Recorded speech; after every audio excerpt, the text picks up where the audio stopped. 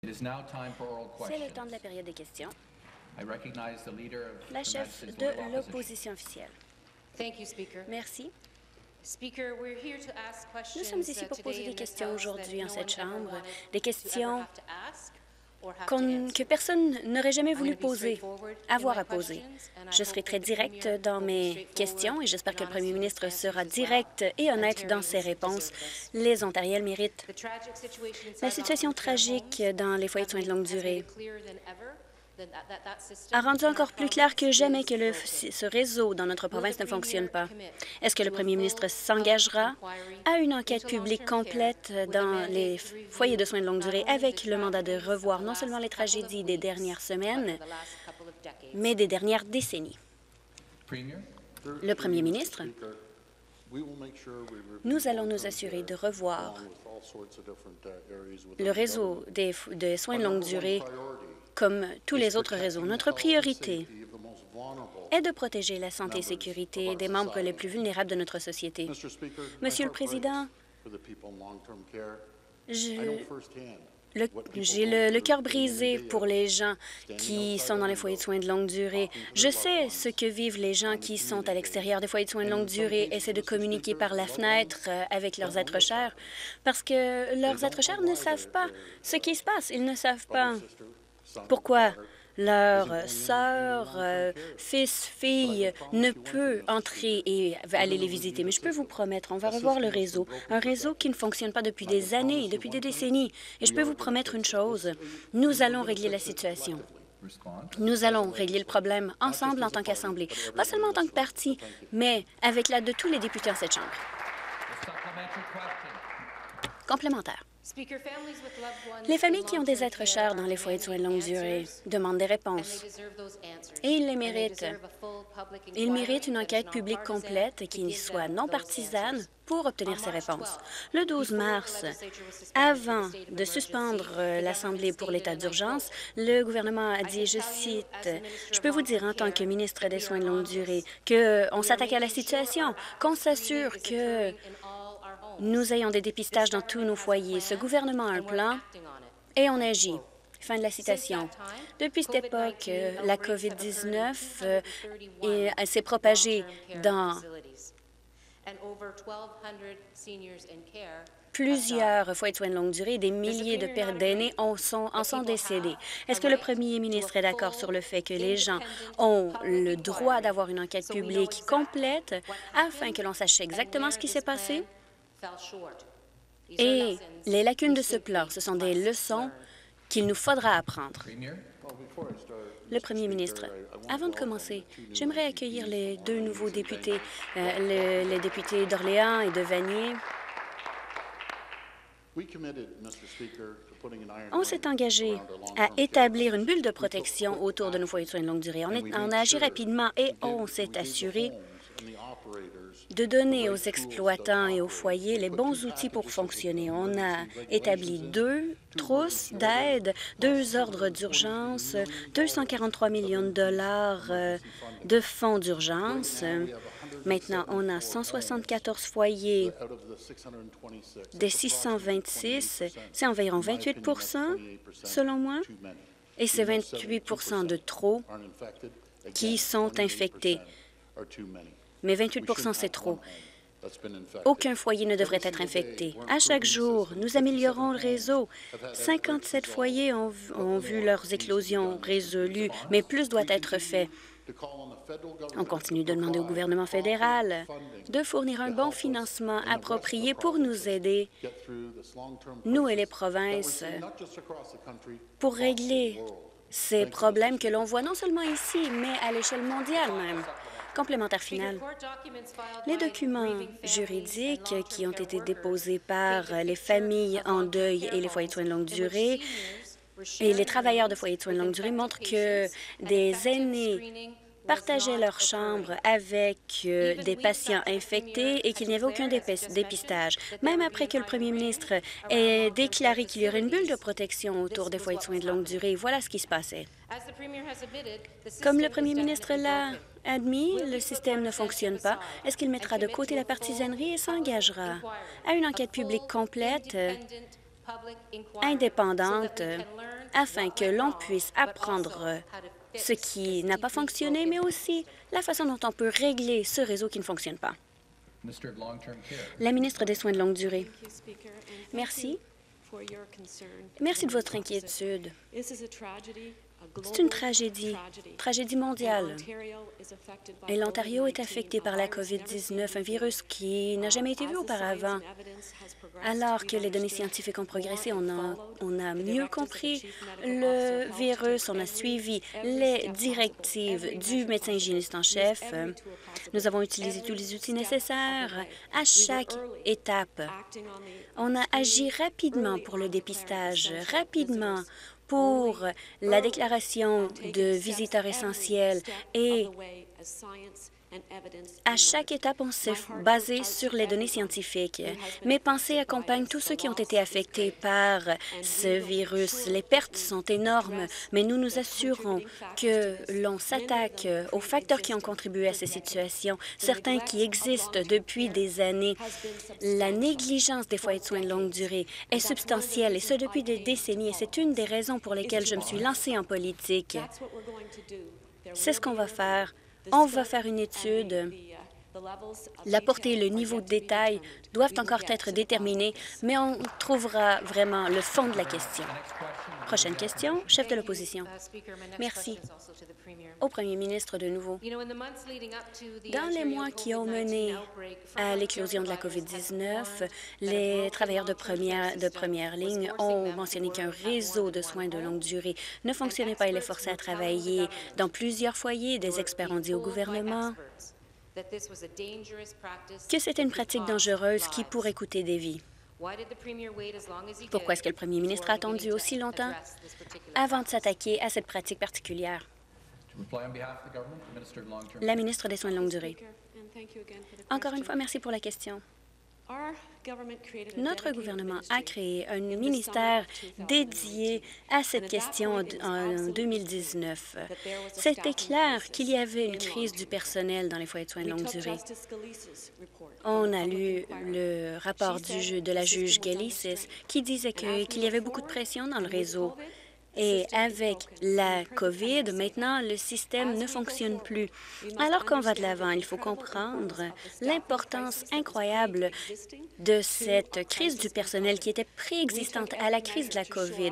Nous avons mis en place toutes les mesures nécessaires pour créer plus de flexibilité pour nos foyers avec des travailleurs d'urgence, différentes trousses de mesures nous avons agi à chaque tournant, incluant d'agir sur la façon dont le personnel pouvait se déplacer d'un foyer à l'autre. Maintenant, cette pratique n'existe plus, mais ça a affecté les services dans les foyers de soins de longue durée. Ça a été une décision qui a suivi qui euh, découlait du euh, médecin hygiéniste en chef et nous avons suivi ses conseils à chaque tournant complémentaire. En fait, ça a pris au gouvernement plusieurs semaines pour émettre un ordre qui empêchait le personnel de travailler dans plusieurs installations et le personnel des agences temporaires peuvent encore aujourd'hui se déplacer d'un foyer à l'autre. Est-ce que le ministre mettra, la ministre mettra fin à cette pratique complètement? La ministre des Soins de longue durée. Encore une fois, merci pour la question. Si je reviens au début de notre ministère et de comprendre la crise préexistante dans le réseau de soins de longue durée. Les travailleurs représentent 2% de tout le personnel, les travailleurs de ces agences. C'est essentiel de s'assurer que nous ayons assez de membres du personnel et que l'on appuie le personnel qui travaille dans ces foyers, qui s'occupe de nos êtres chers. Nous avons utilisé chaque outil, chaque mesure nécessaire pour nous attaquer aux problèmes de niveau de personnel qui existent depuis des années et des années, qui, et ce sous différents gouvernements. Nous avons agi, on a pris la situation au sérieux, on a étudié chaque mesure suivent et nous avons toujours suivi les conseils du médecin hygiéniste en chef. Mes pensées accompagnent tous ceux qui ont été affectés. Nous avons tous été affectés par la COVID. Complémentaire final, eh bien, ça ne prend qu'une personne pour propager la COVID-19, donc 2% Ce n'est pas quelque chose qui me rassure. Une des leçons clés du SRAS, en fait, était que les travailleurs de la santé qui passaient d'un endroit à l'autre étaient un risque envers eux-mêmes et leurs familles, envers les patients et la santé publique. En Colombie-Britannique, le gouvernement a agi de façon décisive en mars et s'est saisi de l'exploitation des foyers de soins de longue durée et s'est assuré que le personnel ne travaille que dans un seul emplacement et que le personnel soit payé de façon décente. Pourquoi est-ce que le gouvernement de l'Ontario, encore aujourd'hui, refuse de, de faire la même chose? La ministre. Merci, oui, je vous remercie de votre question. La crise de- du niveau de personnel était préexistante dans nos foyers de soins de longue durée et doit être comprise. Il faut comprendre la façon dont nos aînés recevront les soins dont ils ont besoin. Nous avons émis des recommandations que nous avons obtenues du médecin hygiéniste en chef, ainsi que ses directives. Et on a commencé en février à donner des lignes directrices, directrices pour la prévention envers la COVID-19 dans nos foyers de soins de longue durée. Et nous avons agi pour vraiment dépister les gens qui entraient, faire des dépistages auprès des gens qui entrent dans les foyers de soins de longue durée. Nous avons limité les visiteurs aux visiteurs essentiels. Nous avons investi des millions et appuyé le personnel. Le, problème de personnel existait déjà et on a permis à nos foyers de soins de longue durée d'être flexibles pour s'occuper des besoins de nos résidents en suivant les directives du médecin hygiéniste en chef à chaque étape. Les résidents dans nos foyers de soins de longue durée méritent le respect, la dignité et notre soutien. Prochaine question, chef de l'opposition. Merci. Prochaine question, Premier ministre. Je ne suis pas en désaccord. Je reconnais que le réseau est en mauvais état depuis des années. Et c'est la raison pour laquelle nous avons besoin d'une enquête publique et que cette euh, enquête doit revoir les dernières années. Le membre du personnel doit avoir les équipements de protection individuelle nécessaires pour faire leur travail. Aujourd'hui, on encourage le personnel dans ces installations, comme par exemple dans les euh, foyers de soins, à diminuer l'équipement à un masque de tissu, même lorsqu'il y a une éclosion. Les travailleurs doivent avoir accès aux équipements de protection individuelle. Et si cet équipement est disponible, pourquoi est-ce qu'on doit se battre si fort pour y avoir accès? Le premier ministre, les travailleurs de première ligne se sacrifient à chaque jour où ils se rendent au travail.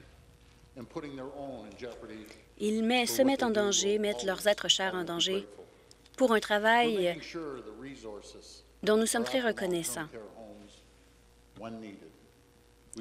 L'équipement est, disponible lorsque c'est lorsqu'il est nécessaire.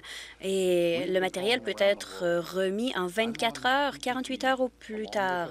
Nous travaillons avec nos partenaires mondiaux, mais nous sommes tous en concurrence pour le même produit. Et tant que je suis premier ministre, on ne se fiera pas aux pays étrangers, on ne se fiera pas au gouvernement étranger. Lorsqu'il y a une crise qui fermeront leurs leur frontières et nous, nous, refuserons l'accès à des masques. Les entreprises de l'Ontario montent la charge, créent maintenant des masques, produisent des visières faites ici en Ontario afin qu'on n'ait jamais à se fier à un autre gouvernement étranger à l'avenir. Complémentaire. Je suis d'accord euh, sur le fait que les travailleurs de première ligne euh, dans les foyers de soins de longue durée, tous les travailleurs essentiels font un grand sacrifice pour nous tous. Depuis l'éclosion de cette pandémie, des milliers de travailleurs de la santé et de préposés aux services de soutien à la personne ont euh, été atteints de la COVID, en sont même décédés. Tous les travailleurs de la santé méritent d'avoir l'équipement de protection nécessaire, mais trop souvent, les employeurs ne le fournissent pas. Est-ce que le premier ministre a un nouveau plan pour s'assurer que les préposés aux services de soutien à la personne et les travailleurs des premières lignes aient les équipements nécessaires pour faire leur travail? Le premier ministre. Premièrement, j'aimerais offrir mes condoléances, mes prières et mes pensées à tous ceux qui ont perdu un être cher. Nous avons d'excellentes entreprises, une belle ingénuité en, Ontario et on, on les utilise actuellement. Nous agissons avec, entre autres, O2 pour, pour construire des ventilateurs ou à Woodbridge, on crée des masques N95 à chaque jour. Il y a aussi des distilleries qui maintenant ont arrêté de produire euh, du, euh, de l'alcool et de la bière pour créer du désinfectant pour les mains. Ça montre une belle ingénuité et ingéniosité et c'est ce qu'on va faire, continuer à faire. Prochaine question, député de Kitchener-Conestoga. Merci. Au premier ministre, il y a plusieurs semaines, l'Ontario a lancé un appel auprès de ces entreprises pour obtenir des équipements de protection individuels qui sont importants pour nos travailleurs des premières lignes. Je sais que plusieurs entreprises ont répondu à l'appel. Certaines entreprises ont complètement retransformé leur ligne d'assemblage pour créer ces équipements. C'est vraiment l'esprit ontarien. Que font ces entreprises pour aider à appuyer les travailleurs de première ligne? Le premier ministre, j'aimerais remercier l'excellent député de Kitchener-Conestoga. Il fait un excellent travail dans sa communauté et c'est un bon représentant de la région de Waterloo. Les entreprises ontariennes ont vraiment bien agi. Il y a Inksmith de Kitchener dans la circonscription du député qui a modifié sa ligne de production pour créer des visières de plastique. Il y a All or Nothing, euh, le producteur de bière All or Nothing, qui a aussi modifié son exploitation. All the Way Palisade aussi, à North Bay, qui maintenant produit des visières. On entend ces histoires à l'échelle de la province. Les gens transforment leur exploitation et ça vous montre le talent que nous avons. Les gens innovateurs que nous avons ici dans la province qui agissent et ce pour fournir les équipements de protection individuelle nécessaires. Complémentaire. Merci. Il est clair que l'Ontario est un bel exemple de la façon dont les employeurs, les entrepreneurs et les entreprises peuvent vraiment agir euh, et faire des efforts pour euh, lutter contre la COVID. Ça signifie que le gouvernement doit aussi simplifier la tâche pour eux afin qu'ils puissent travailler avec nous. En retirant les obstacles, nos partenaires peuvent faire un produit fabriqué en Ontario dans une solution purement ontarienne. Pouvez-vous nous dire plus, nous en dire plus sur ce que le gouvernement fait pour aider ces entreprises et créer une solution fabriquée en Ontario? Le premier ministre, j'aimerais remercier le député de Kitchener-Conestoga.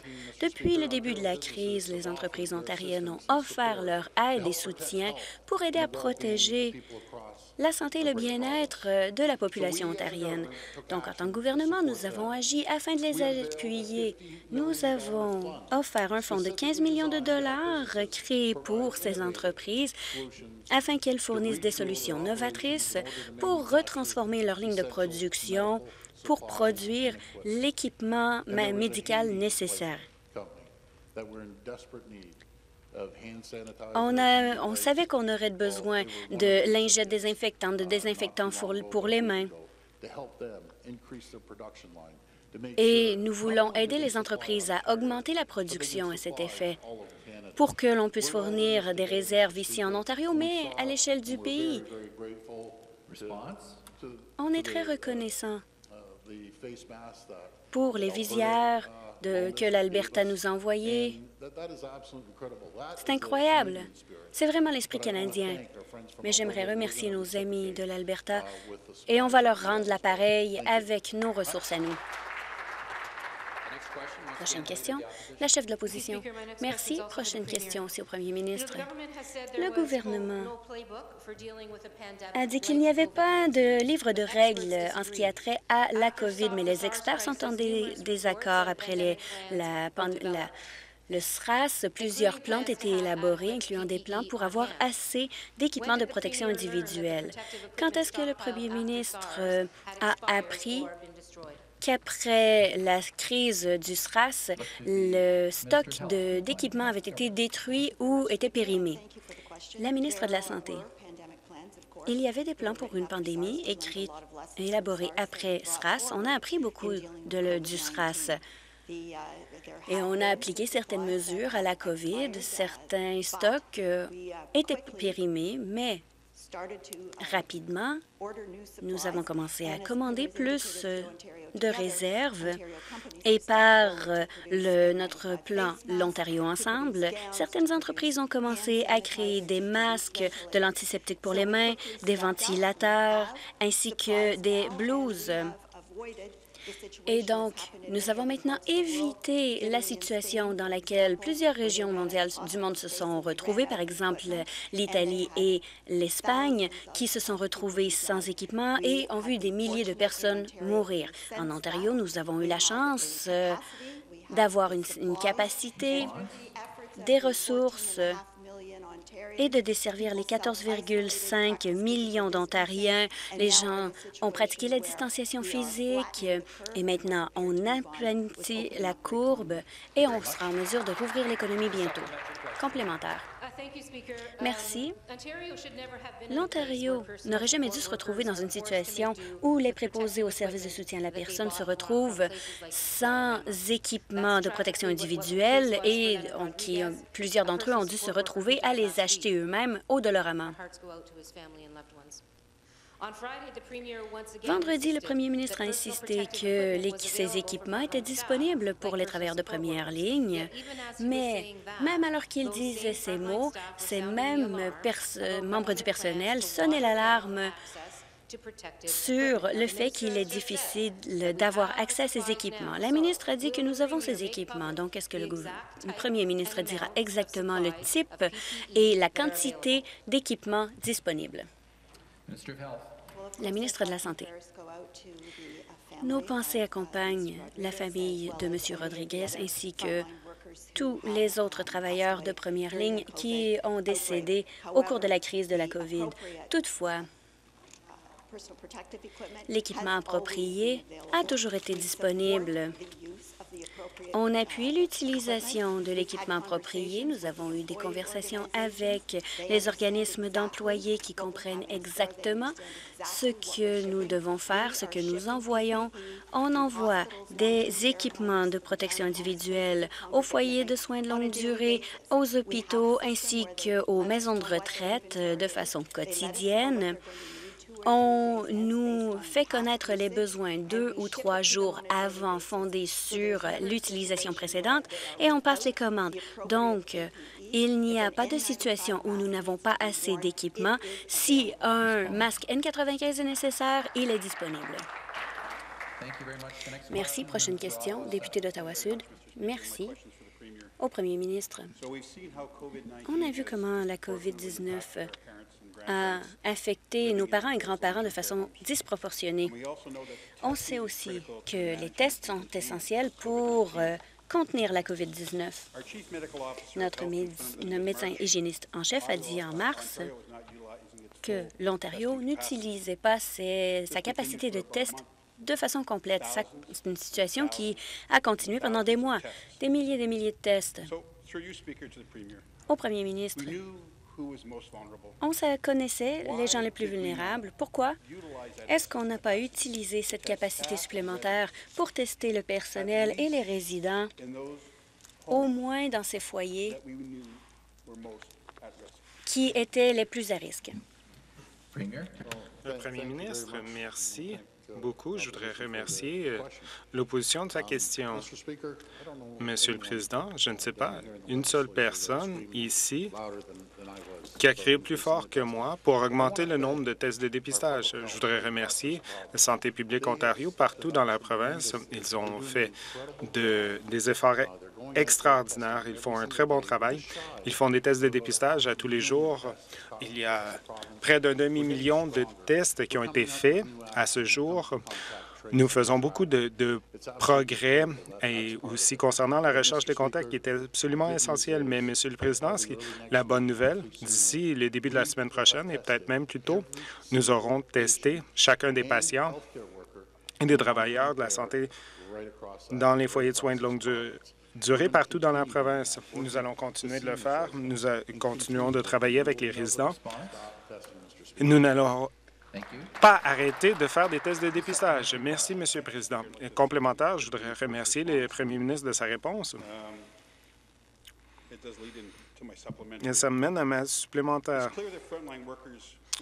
Euh, c'est très clair que des travailleurs qui ont travaillé dans plusieurs foyers de soins de longue durée ont contribué à la propagation. Et cette semaine, Andrew Cuomo, le gouverneur de New York, chacun des travailleurs deux fois par semaine et ce n'est pas au choix. Nous allons compléter ces tests dans les foyers de soins de longue durée d'ici le début de la semaine prochaine, mais ce n'est qu'un début. Nous allons le faire pendant euh, plusieurs temps, pendant longtemps encore. Donc, au premier ministre,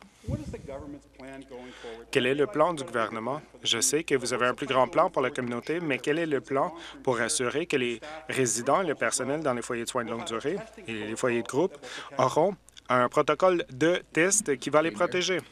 Euh, premier ministre, par votre entremise, Monsieur le Président, c'est de faire tous les tests dans les foyers de soins de longue durée pour les personnes âgées, pour les foyers de groupe et et quand ce sera fait, si on aura à réévaluer, ensuite, on va continuer de le faire si c'est le cas, si on doit le faire. Nous allons continuer de faire la recherche des contacts et encore une fois, on a vu où nous étions il y a quelques semaines comparé à euh, où nous en sommes aujourd'hui. Notre objectif pour la santé publique est d'assurer qu'on puisse faire 20 000 tests à tous les jours et ils s'améliorent à tous les jours. Ils font un très bon travail. Ils font un travail sans relâche et je voudrais les féliciter, féliciter tous ceux qui ont participé, tous ceux dans la santé publique partout dans la province. Merci. Nouvelle question. Député de Guelph. Merci, Monsieur le Président. C'est bien de voir tous mes collègues et vous dans le fauteuil. Ma question est au premier ministre. Durant les deux derniers mois, j'ai demandé au gouvernement d'offrir un programme d'allègement des loyers. Sans aide, les entreprises locales ne vont pas sauver cette crise. Donc, j'ai été soulagé lorsqu'il y a eu un programme qui a été lancé pour l'allègement des loyers au fédéral, mais il ne fonctionne pas. Seulement 10% des entreprises sont ou pensent que leur propriétaire va participer dans le processus. Les entreprises locales n'ont plus de temps et ils peuvent, les propriétaires peuvent peuvent forcer l'entreprise à fermer ses portes d'ici le 15 mai. Donc, est-ce que le gouvernement va interdire cette mesure avant le 15 mai.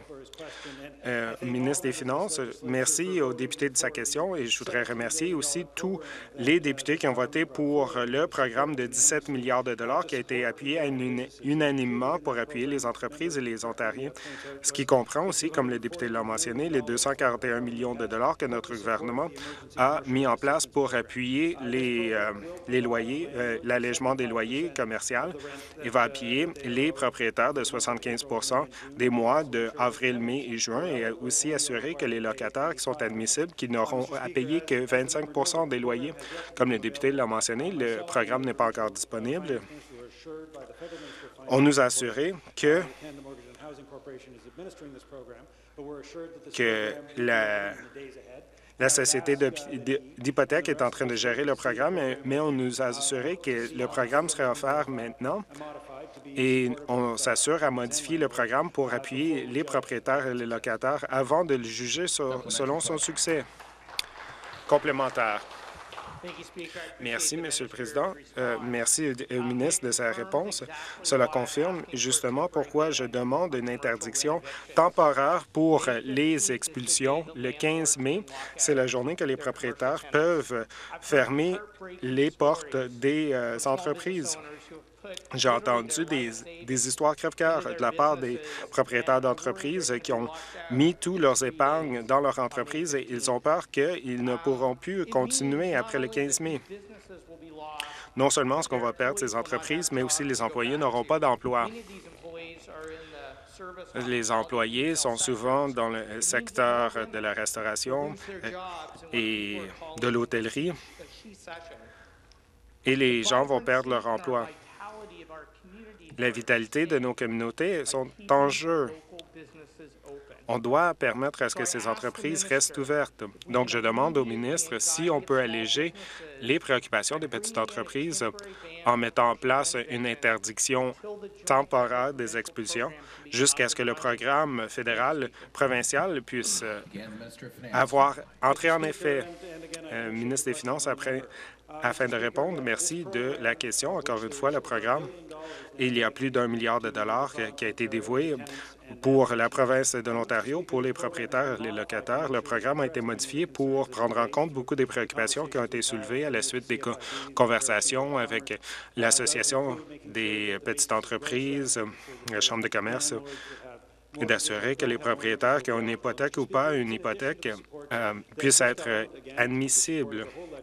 Et avec l'appui de toute l'Assemblée, on a pu offrir de l'aide, ce qui comprend 10 millions de dollars pour remettre à plus tard les loyers, 10 millions de dollars aussi pour euh, réduire la taxe sur les employés, les employeurs, et aussi une réduction pour les tarifs en électricité. Donc, c'est très important qu'on puisse permettre au programme fédéral qu'il puisse entrer en action, entrer en effet et en fait, ensuite, on verra les conséquences et les effets de ce programme et ensuite, on aura ajusté nos actions en euh, conséquence. Député de Brampton Centre, autre question. Ma question est au premier ministre. Des experts partout au monde nous disent que la meilleure façon de, limiter la propagation de la COVID-19 est de faire des tests de dépistage et encore plus de tests de dépistage. Malheureusement, notre, nos tests sont derrière la moyenne nationale par le passé, la ministre de la Santé a dit qu'on allait faire des tests de 18 000 personnes par jour, non pas seulement une fois. Est-ce que l'Ontario a pu satisfaire à cette cible? Et ensuite, le premier ministre a révisé cette cible à 16 000 par jour et on a encore de la difficulté à pouvoir satisfaire à cette cible. Six semaines plus tard, nous avons encore des retards avec 160 000 tests euh, en derrière, derrière les autres. Est-ce que le premier ministre a reçu des conseils de la part des professionnels de la santé à savoir combien de tests on devrait avoir avant de pouvoir réouvrir l'économie dans notre province? Au premier ministre, je voudrais remercier l'opposition de la question, Monsieur le Président. C'est malheureux que l'opposition c'est honteux même que la santé publique n'a pas fait plus de tests que ce qu'elle a dit. En fait, ils ont fait 19 000 tests de dépistage il y a quelques jours, 18 000 et quelques jours avant, et on mène dans le pays au par habitant le nombre de tests. Je suis tellement fier de notre, nos équipes de santé publique. Oui, il y a eu quelques pépins, des obstacles, des problèmes, mais euh, ils vont de l'avant. Nous, nous allons faire atteindre notre cible de 20 000 tests par jour. Ils font un travail extraordinaire. Ce sont les hommes et les femmes qui font des tests à tous les jours sans relâche. Donc, je suis fier de tout ce qu'ils font. Et oui, notre objectif sera 20 000, mais nous en sommes à 19 000, 18 000, et on mène comparé au reste du pays. Complémentaire, je pense qu'on reconnaît tous le très bon travail des professionnels de la santé, des intervenants de première ligne et tous ceux qui font le test, les tests, mais euh, l'objectif des tests est de voir où nous en sommes, quelle est la situation actuelle. Et puisqu'on n'a pas les tests nécessaires, on ne le sait pas, on ne sait pas où la propagation a lieu qui est, contaminée. Et c'est encore plus difficile de, faire, de passer à la planification, telle que de permettre aux élèves de retourner à l'école ou de rouvrir les petites entreprises ou même de donner un câlin à nos proches. Donc, pourquoi est-ce que le premier ministre n'a pas augmenté les tests pour satisfaire aux cibles qu'il a établies lui-même, ministre de la Santé? Bien, la députée a tout à fait raison. On doit avoir des tests partout dans la province et nous l'avons. Nous avons 20 différentes organisations qui font des tests. Les échantillons qu'ils reçoivent, il y a des euh, préposés aux soins paramédicaux qui aident et d'autres, euh, et tout le monde y met euh, des efforts, les, mains à la pâte. Nous, nous devons le faire pour assurer la sécurité des Ontariens, qu'on doit augmenter les tests et c'est tout à fait essentiel. Et je sais que les Ontariens veulent savoir si envisagent de retourner au travail, qu'il y a une façon de continuer de faire des tests pour assurer qu'on puisse demeurer en sécurité. Donc, c'est un principe fondamental. On reçoit des tests à tous les jours. On sait le nombre exact à tous les jours. Ils viennent de toutes les parties de l'Ontario. Nous allons continuer de le faire alors que nous, nous commençons tranquillement à ouvrir l'économie. Merci. Merci beaucoup. Nouvelle question. Député d'Ottawa-Vanier. Merci, Monsieur le Président. Euh, C'est avec plaisir que je me lève en chambre aujourd'hui pour poser ma première question. Et ma première question, Monsieur le Président, s'adresse à la ministre des Soins de longue durée. Aujourd'hui, c'est la semaine des infirmiers et infirmières en Ontario. Chaque jour, ils se battent en première ligne contre ce terrible virus. Ils sont essentiels à notre système de santé. Et nous leur devons d'obtenir l'équipement de protection dont ils ont besoin. Nous avons entendu de nombreux témoignages de la part d'infirmiers, d'infirmières et d'autres travailleurs de première ligne, comme les préposés aux bénéficiaires, n'ayant pas accès à l'équipement approprié, y compris les masques N95. Monsieur le Président, par votre intermédiaire, la ministre peut-elle décrire les mesures immédiates qui sont prises pour s'assurer que tous les infirmiers et infirmières et tous les travailleurs de la santé de première ligne dans les différents milieux, y compris les soins à domicile, ont accès à l'équipement de protection approprié. Merci, Monsieur le Président. Minister of Health. Ministre de la Santé, je voudrais remercier la députée de sa question. Bienvenue à Queen's Park. Et nous avons hâte de pouvoir travailler avec vous et d'avoir d'autres questions de votre part à l'avenir. Mais concernant l'équipement de protection personnelle, c'est très important parce que ceux qui font les travailleurs de santé des premières lignes, peu importe où ils font leur travail, ce sont les héros et on leur doit d'assurer qu'ils ont tout l'équipement nécessaire pour prendre soin de leurs résidents, leurs patients, pour qu'ils puissent rester en sécurité et en santé, et ainsi pour leur famille, parce qu'à tous les jours, ils doivent s'assurer qu'ils puissent revenir à la maison sans euh, propager la maladie à leurs proches. Donc, c'est essentiel. On doit leur assurer qu'ils ont l'équipement de protection.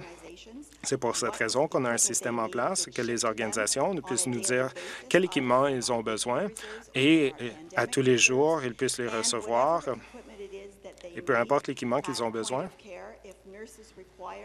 Et si les infirmiers, infirmières en ont besoin des, masques N95 pour les procédures, les interventions qu'ils font, les interventions médicales, ils vont avoir ces masques N95. On a eu plusieurs discussions avec les organisations qui représentent les employés et nous nous sommes entendus que si un infirmier ou une infirmière a besoin d'un masque N95, ce que ce sera disponible pour qu'il puisse l'utiliser complémentaire? Merci, Monsieur le Président. Je voudrais remercier la ministre de sa réponse. Malheureusement, ce n'est pas l'expérience que j'entends sur le terrain. J'ai écrit à la ministre des Soins de longue durée la semaine dernière concernant mes préoccupations avec trois centres de, de foyers de soins de longue durée des infirmières dans ces centres euh, ont signalé des pratiques incohérentes avec les équipements de protection, avec un manque de personnel une pénurie de personnel. Il y a une augmentation des tensions avec les employés et les employeurs. Ça a une incidence sur la qualité des soins qu'on offre à nos proches. Donc, à la ministre, qu'est-ce que vous faites pour assurer que les infirmières dans les foyers de soins de longue durée ont accès aux équipements de protection adéquats et que les protocoles d'équipement de protection sont clairement articulés? ministre de la Santé, les équipements de protection appropriés sont offerts, sont disponibles, comme je l'ai mentionné, aux foyers de retraite, foyers de soins de longue durée, dans les hôpitaux aussi, bien sûr. Nous savons que c'est essentiel pour les travailleurs sur les premières lignes qui offrent des soins. Par contre, il y a certaines situations dans certains centres ce fut nécessaire à la suite d'un manque de dotation de personnel ou de pénurie de personnel. Depuis qu'il y a eu des éclosions, que ce fut nécessaire pour les hôpitaux d'y aller. Nous avons changé l'ordre pour permettre aux hôpitaux de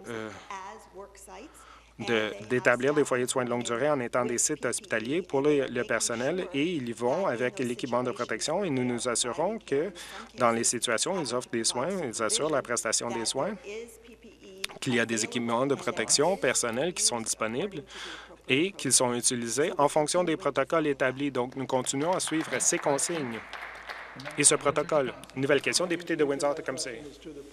Ma question est au premier ministre. Bonjour. Aujourd'hui, les nouveaux tests de dépistage démontrent qu'on a complété 12 000 tests. C'est bien en dessous de la moyenne par habitant national et en dessous de la cible du premier ministre. Alberta a un réseau pour faire les tests de dépistage en laboratoire et ils ont un meilleur rendement qu'en Ontario, avec plus de 33% des échantillons testés là-bas, comparé ici. En fait, en Alberta, la semaine dernière, a investi plus d'argent pour augmenter leur capacité de tests de dépistage. Monsieur le Président, pourquoi est-ce que la province de l'Alberta peut faire plus de tests pour la COVID-19 que nous, beaucoup plus que nous? Ministre de la Santé.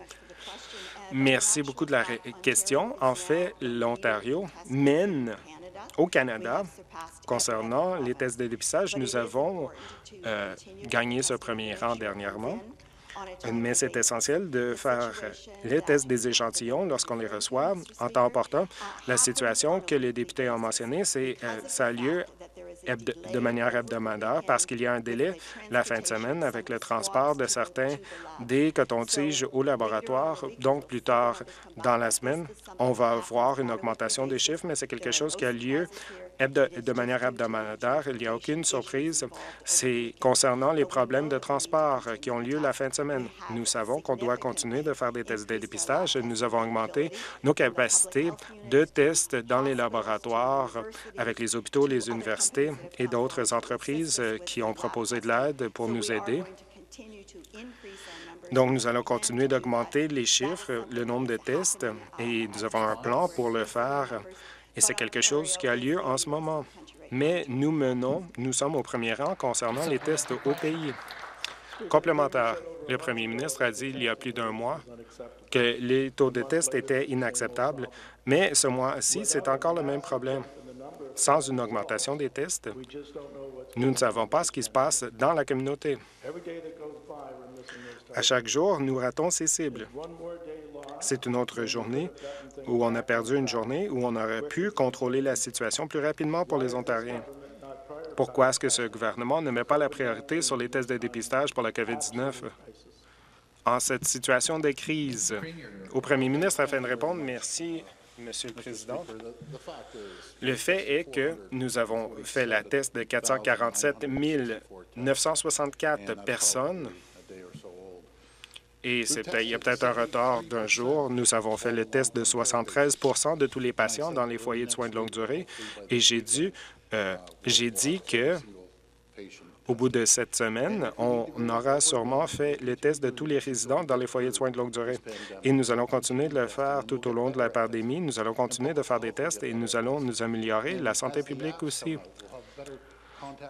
On aura plus de recherche de contacts et, elle sera améliorée aussi. Et comme je l'ai mentionné au premier ministre et tous les premiers ministres, le premier ministre fédéral et tous les premiers ministres provinciaux, nous voulons mener, être au premier rang concernant les au, pays non seulement parce que nous sommes au premier rang au Canada, mais les tests par habitant qu'on fait ici, nous sommes parmi les premiers au monde. Nous allons augmenter notre capacité de euh, tester et je voudrais remercier encore une fois Santé publique pour le très bon travail qu'ils font. Merci. Nouvelle question, député de Davenport. Merci, Monsieur le Président. Je voudrais tout simplement dire que avec tout le respect que je dois à la première ministre, au premier ministre et à la ministre de la Santé, euh, ce que vous dites, ce qui a lieu avec les équipements de protection, les tests, ce n'est pas ce qui a lieu sur le terrain. Ce n'est pas ce qu'on entend de la part de nos commettants. La propagation non contrôlée de la COVID-19. Ma question est au premier ministre. La propagation non contrôlée dans les foyers de soins de longue durée est tout à fait crève-cœur. Euh, c'est très attristant. Mais ce qui est encore plus décevant, c'est que la plupart de ces éclosions auraient pu être évitées si le personnel et les résidents auraient pu avoir l'équipement de protection qu'ils demandaient d'avoir. Comme étant de, son père de 95 ans a contracté le COVID-19 dans son foyer de soins de longue durée.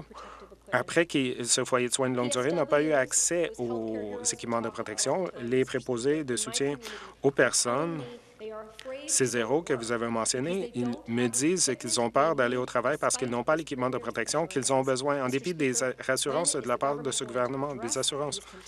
Quand est-ce que le gouvernement va trouver une solution à ces problèmes que nous trouvons dans les foyers de soins de longue durée? Ministre de la Santé, merci de la question, mais le fait est que nous avons l'inventaire et nous envoyons toutes cet équipement de protection aux organisations qui en ont besoin, peu importe qui ils sont, que ce soit un foyer de soins de longue durée ou un hôpital ou des soins à domicile. Nous avons les, équipements et nous les envoyons euh, quotidiennement. Nous avons été très francs avec les organisations des employés. Nous avons établi une directive s'il y a un besoin, si une infirmière ou un infirmier ou peu importe tout autre intervenant de première ligne, s'ils ont besoin d'un masque N95 parce que ce sont les euh, masques les plus euh, convoités, s'ils en ont besoin pour une intervention médicale, ils ont le choix, ils peuvent y avoir accès. C'est selon ce qu'on a entendu avec l'Organisation des représentants des employés et avec l'employeur. C'est la procédure qu'on a suivie dès le début. Toronto-Saint-Paul, complémentaire. Les foyers de soins de longue durée, nous avons besoin d'aide. Dans les foyers de soins de longue durée. Ma question est au premier ministre. 42 personnes en sont décédées, 61 résidents sont positifs. et 45 membres du personnel ont aussi la COVID-19. Les familles m'ont dit de Ian Manor que leurs proches sont dans un lit, ils sont, euh, ils sont affamés, ils ne peuvent pas avoir accès à la nourriture ou à l'eau, ils tombent de leur lit le soir, ils sont euh, à terre pendant des heures. Et ce qui m'a touché encore plus, c'est qu'une personne à qui j'ai parlé, elle a dû être assise avec le corps de sa mère qui était décédée tout au long de la nuit parce qu'il n'y avait pas assez de personnel pour l'aider. Et nous savons tous que le personnel à Meehan Manor font de leur mieux, mettent tous les efforts.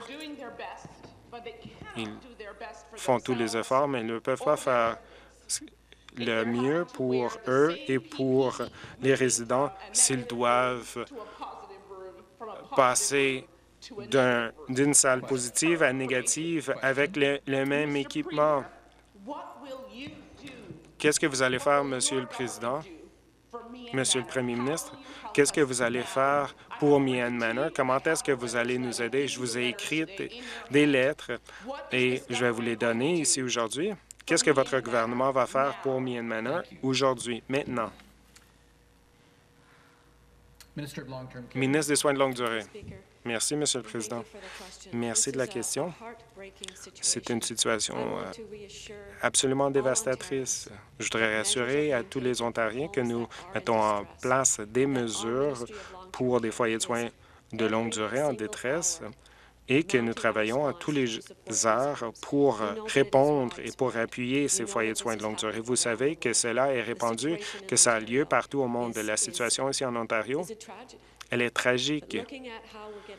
Mais à savoir comment est-ce qu'on qu'on puisse permettre à Mian Manor, il y a un autre hôpital de Sunnybrook qui appuie Mian Manor et l'Armée du Salut a offert d'autres services pour Mian Manor. Nous nous assurons que le personnel là reçoit tous les soutiens nécessaires pour qu'il n'y ait pas d'épuisement personnel, professionnel plutôt.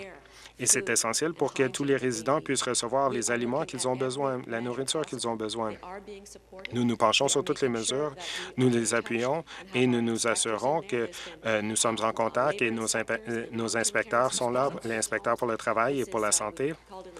Nous avons demandé euh, aux forces armées dans certaines situations et d'autres euh, foyers de soins de longue durée sont en train de contrôler et gérer la situation. Donc, c'est quelque chose que nous changeons. Nous augmentons le financement pour le personnel pour assurer que tout le personnel est appuyé à toutes les étapes. Merci. Nouvelle question. Député d'Orléans.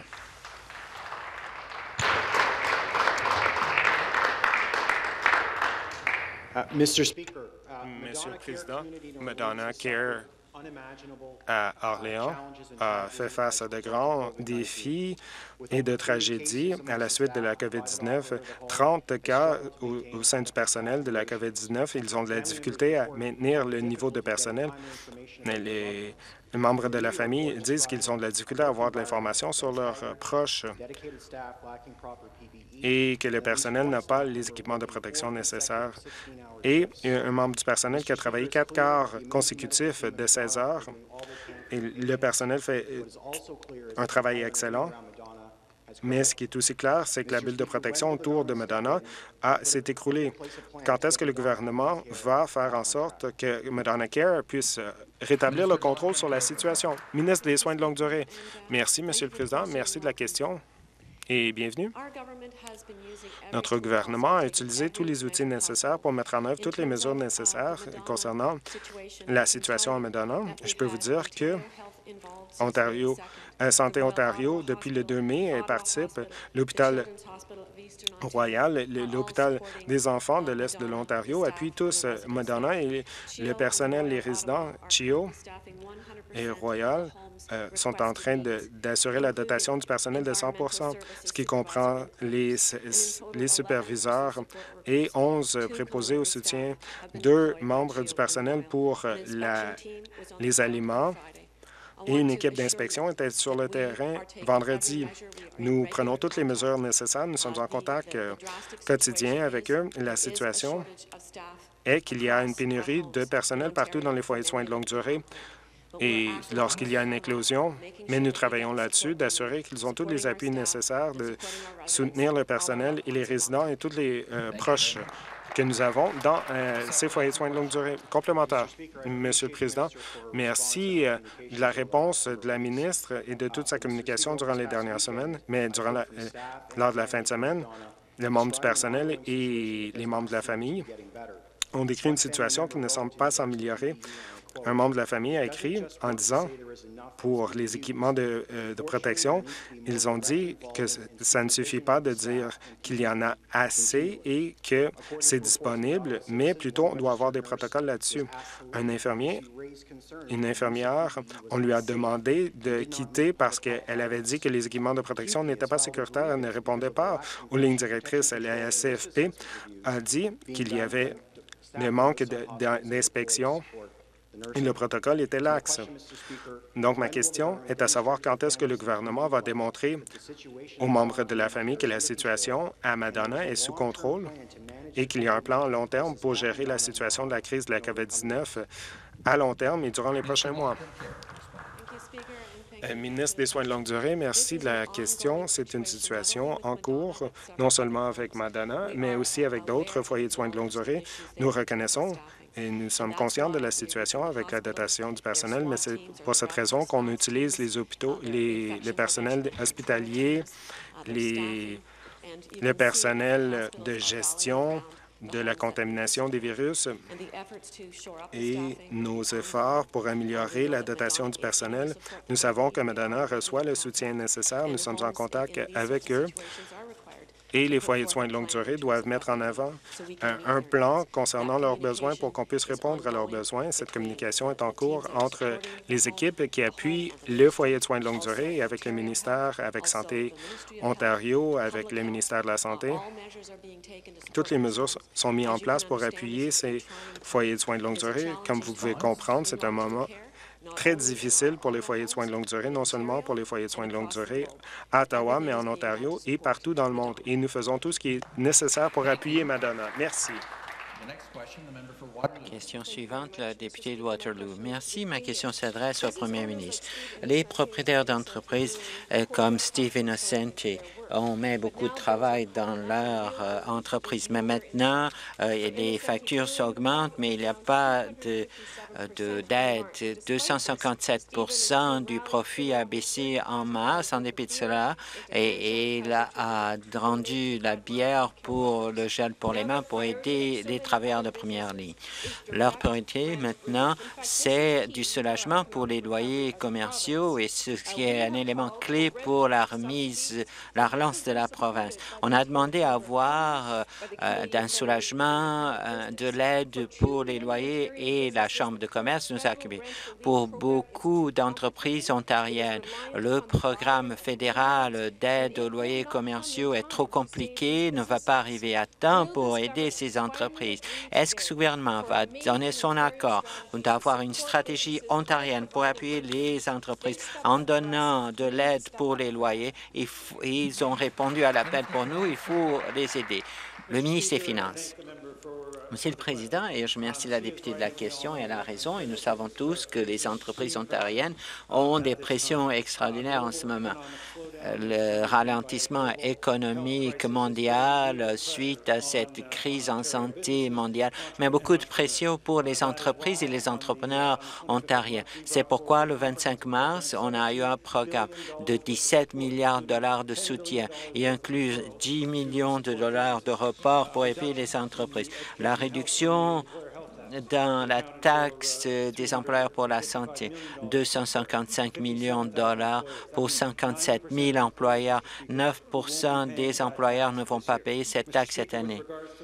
90 Quant à la question du loyer, le programme d'aide d'urgence du Canada pour le loyer commercial du gouvernement fédéral est conçu pour aider les entreprises, pour s'assurer qu'ils puissent et les propriétaires puissent continuer à avoir ces entreprises pendant cette période économique difficile. Question complémentaire, le député de York Sud-Weston. Merci, Monsieur le Président. C'est clair que le, le, nouveau programme du gouvernement ne va pas aider à payer les loyers et ne va pas empêcher les entreprises d'être exposées. Osman, un petit propriétaire de petite euh, entreprise euh, va va pas aider. D'autres comme T-Dot R&I Jewelries, les joailliers, perdent leurs entreprises parce que les propriétaires refusent de participer. Au Premier ministre, trop de petites entreprises euh, sont abandonnées. On ne peut pas laisser le rêve de ces propriétaires disparaître. Je commence encore une fois. Est-ce que le gouvernement va donner euh, du soutien financier direct aux entreprises qui disent que cela ne fonctionne pas pour eux? Le ministre des Finances. Monsieur le Président, j'apprécie la question et on a été en consultation avec euh, la Fédération de l'entreprise canadienne, de l'entreprise indépendante du Canada. Et le ministre Sarkaria a eu des tables de discussion avec les petites et moyennes entreprises. Nous écoutons Quant à ce que le député a demandé, le programme a été adopté pour assurer que les entreprises qui n'ont pas une hypothèque qui financent leurs entreprises différemment soient admissibles. Ça a été aussi modifié pour qu'on calcule sur le loyer, en gros, pas le loyer net. C'est suite à des rétroactions. Nous sommes un gouvernement, la population ontarienne le sait, qu'on veut aider les entreprises et on veut faire tout ce qu'on peut pour qu'on puisse continuer pendant cette période très difficile mondiale. Merci. Question suivante, le député de Willowdale. Merci. Ma question s'adresse au premier ministre. Il y a juste quelques mois, notre province, grâce au leadership du Premier ministre et des politiques du gouvernement, on a pu euh, relancer notre économie. Nous étions la province où il y avait le plus de création du Canada avec 57% des emplois en Ontario, en Canada, créés ici en Ontario. Vendredi dernier, Statistique Canada a parlé des chiffres de l'emploi en avril et a donné des, des nouvelles difficiles pour les Ontariens. En avril, euh, en Ontario, il y a eu 11,3% de taux de chômage en Ontario. La COVID-19, c'est un ennemi sans relâche qui a pris beaucoup de vies euh, des voisins, et a fait arrêter toute l'économie, fermant des entreprises et lançant des gens dans le chômage. Est-ce que le Premier ministre peut partager avec cette Chambre euh, l'impact et comment est-ce qu'on va aider? Le Premier ministre? Je veux remercier le député de Willowdale et les chiffres d'emploi qui ont été annoncés. Ça vous touche, ça vous fait rester rêver. Revenons avant la pandémie. Nous étions de tout en premier endroit en Amérique du, euh, du Nord où on créait des emplois, 307 000 nouveaux emplois. J'ai beaucoup de confiance à los entrepreneurs et à la 14,5 millions d'Ontariens qui vont s'assurer qu'on va euh, remettre l'économie sur la bonne voie. Et nous, on va créer un environnement où les compagnies peuvent s'épanouir. Avant la pandémie, on était en contact avec le gouvernement fédéral en demandant 250 000 emplois pour remplir les postes, parce que c'est la population, l'ingénuité de la population qui a mené à la création d'emplois. Et le secteur manufacturier, c'est incroyable, c'est le meilleur en Amérique du Nord. Et on va continuer, on va continuer à être l'engin de l'Amérique du Nord et on a demande l'appui de l'opposition. Merci. Question complémentaire. Merci. Monsieur le Premier ministre, vous l'avez bien dit, pendant cette période difficile, il n'y a pas d'équipe euh, orange, d'équipe bleue ou d'équipe rouge. C'est l'équipe Ontario. Et dans notre province, on va avancer. Nous sommes 14 euh, millions et demi de personnes qui vont aller dans la même direction. La COVID-19 a été un ennemi sans relâche et la population de ma circonscription ont des difficultés et ce n'est pas leur faute devant l'adversité. Il faut rester ensemble et s'appuyer. il faut continuer à, euh, lutter et à continuer à préserver. Est-ce que le Premier ministre peut nous dire quelles mesures ont été prises pour assurer que la santé et la sécurité n'est pas compromise? Le Premier ministre, je veux remercier le député. On a donné plus de 17 milliards de dollars pour la lutte contre la COVID-19. 10 milliards de dollars de report de taxes avec plusieurs programmes. On a le cadre approprié de relancement. On a les principes pour protéger euh, les travailleurs. On a 16 afin que 60 protocoles en place pour assurer qu'on puisse euh, aider à l'environnement. On veut s'assurer que non seulement l'économie est en sécurité, mais aussi les travailleurs, les clients, les employeurs. Et notre toute première priorité, c'est que la santé et sécurité des gens, le bien-être des gens soient sécuritaires avant d'ouvrir l'économie. Et jusqu'ici, la population ontarienne a fait un travail incroyable en travaillant avec ce gouvernement et d'autres gouvernements. Et cela vous démontre, quand les gouvernements travaillent ensemble, les 440 44 municipalités, où la relation phénoménale qu'on a avec le gouvernement fédéral, les homologues libéraux à Ottawa, et quand on travaille ensemble, c'est incroyable comment on peut faire avancer le pays et la province. Et on a hâte de continuer avec la coopération des municipalités et le gouvernement fédéral. C'est la conclusion du temps pour la période des questions. Je comprends que le président du Conseil du Trésor a un rappel au règlement. Merci, Monsieur le Président. J'ai un message de l'honorable Elisabeth Dowdwell. Veuillez vous lever, s'il vous plaît.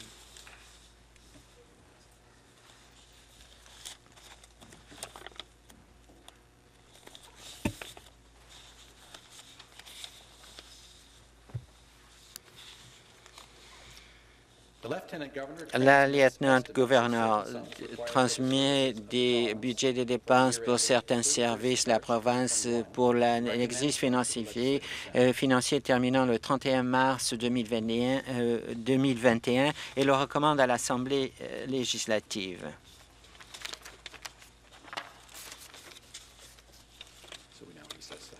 Et la séance est levée, est en pause jusqu'à 13 heures.